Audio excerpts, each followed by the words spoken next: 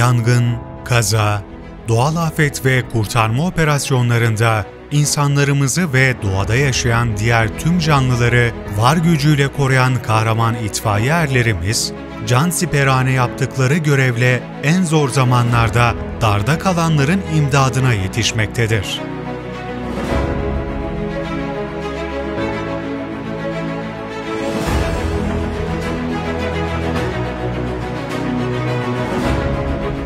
Gece gündüz mesai mefhumu gözetmeden her an göreve hazır olan itfaiyeciler, 1714 yılında kurulan Tulumbacılar Ocağı'ndan günümüze kadar çeşitli dönüşümler geçirse de her dönemde aynı amaç doğrultusunda kutsal bir vazifeyi ifa etmektedir.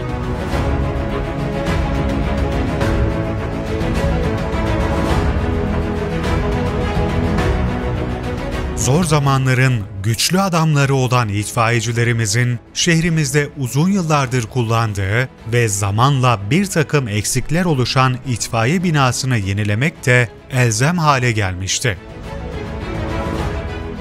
Bu doğrultuda kollar sıvandı, itfaiyecilerimizin daha verimli bir ortamda çalışmalarını sağlamak amacıyla yeni ve modern bir tesis için çalışmalar başladı.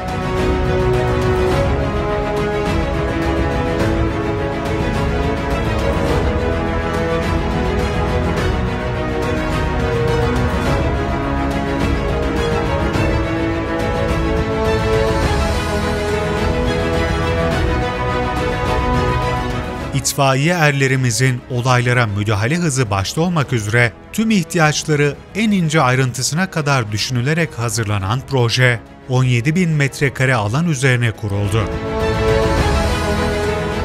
5000 metrekare kapalı alana sahip olan tesis, eğitim ve tatbikat alanı, kondisyon salonu, kütüphane ve eğitim salonu, çocuk eğitim parkı, personel dinlenme alanları, spor sahaları, idari kısım, yemekhaneler, misafir otoparkı ve itfaiye araçlarına uygun son sistem garajdan oluşmaktadır. Teknolojinin tüm yeniliklerini içerisinde barındıran proje, ülkeye örnek olacak tesislerden biri haline geldi. Ulaşım kolaylığı açısından çevre yolunun hemen kenarında yükselen yeni hizmet binasıyla olaylara müdahale hızı da artırılmış oldu.